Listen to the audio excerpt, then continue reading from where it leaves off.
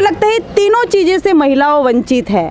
क्योंकि उनको विद्या से ही वंचित रखा जाता है। ज़्यादातर जो महिलाओं की शिक्षा होनी चाहिए, लड़कियों की शिक्षा होनी चाहिए, वो होती ही नहीं है। तो मुझे लगता है कि सरस्वती सरस्वती की पूजा तो की जाती है, पर उसी से ही उसको वंचित रखा जाता है, लड़कियों को, महिलाओं को। दूसरा जो है कि धन।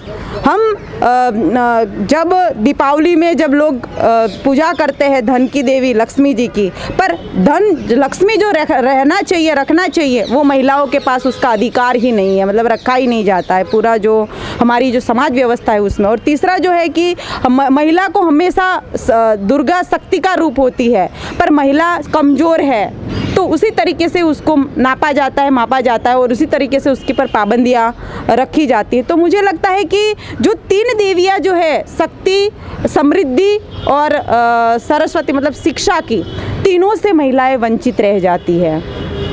मैडम, लेकिन एजुकेशन के अंदर तो अब ऐसा नहीं है, जब बाबा साहब ने जब संविधान लिखा था तो जब विद्या की बात करें विद्या की देवी, लेकिन एजुकेशन के अंदर तो अब ऐसा सिस्टम नहीं है। और जैसे प्रॉपर्टी का सिस्टम है, अब बाबा साहब के संविधान के तहत प्रॉपर्टी में भी महिलाओं को हिस्सा मिलने लगा है।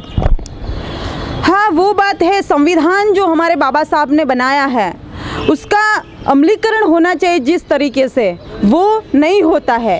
क्योंकि बाबा साहब ने जब संविधान लिखा था तब ये बोला गया था कि संविधान पूरी दुनिया में सबसे श्रेष्ठ है। पर अगर उसको अमलीकरण कर, करवाने वाले जो ताकत है जो लोग है जो व्यवस्था है अगर वो उसका अमलीकरण सही तरीके से नहीं कराएँगे तो मुझे लगता है कि उसका कोई मायना नहीं रहेगा। और आज की जो जो जो मनुवादी जो ताकतें हैं वो इसका ज- जिस तरीके संविधान में जो हमको संशोधन कर, करवाया है और जिस तरीके से संविधान में बोला गया है मतलब समानता की बात की गई है, स्वतंत्रता की बात की गई है, बंधुता की जो बात की गई है और हमको जो फंडामेंटल मूलभूत जो अधिकार दिए गए हैं, उससे ही वंचित रह जाते हैं। तो यही यही आ, बिना जादव जी जैसे अभी आपने देवियों की पूजा करने की बात की जब जब पूजा की बात आती है तो शायद ये दिवाली से पहले आपने दिवाली की बात की थी। दिवाली से पहले एक त्यौहार आता है उसे कहते हैं कि करवा चौथ। एक करवा चौथ का व्रत रखना चाहिए जिससे कि एक महिला है आप जैसी महिला है जो एक जाएँगी बाज़ार के अंदर एक कागज़ की मूर्ति ले आएँगी एक मटकी से ले आएँगी उससे कहेंगे मेरे पति की आयु लंबी हो जाए क्या ये कैसी बनाया मतलब इस तरीके की पाठ पूजा करनी चाहिए? अ, मेरे हिसाब से अगर अ, ये जो व्रत है जिसमें बोला जाता है और मैं सरोकार रखती हूँ मुझे लगता है जहाँ तक ये जो प्रथा थी वो शायद वेस्टर्न यूपी के एक हिस्से में ज़्यादा प्रचलित थी।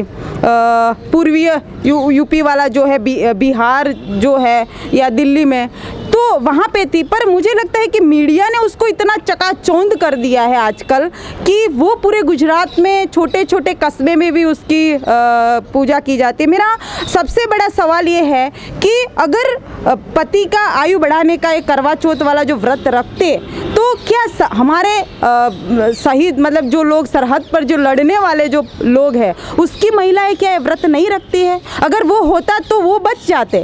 और अगर यही चीज़ होती तो आज जितने एक्सीडेंट या जो भी जितने लोग मरते हैं वो नहीं मरते क्योंकि सब महिलाएँ यही व्रत करेगी तो ये हो जाए। तो मुझे लगता है कि ये जो है मतलब पूरा एक एक एक जो माध्यम है जो व्यापार करने का एक जो तरीका है जिसमें हर एक इंसान की मतलब अपनी दुकान चले।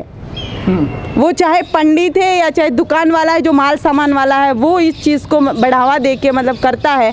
और ये मुझे लगता है इतना अ, कोई वो अ, है नहीं कि वो करने से हो पति की आयु बढ़ जाएगी ऐसा कुछ अ, बात नहीं होती है।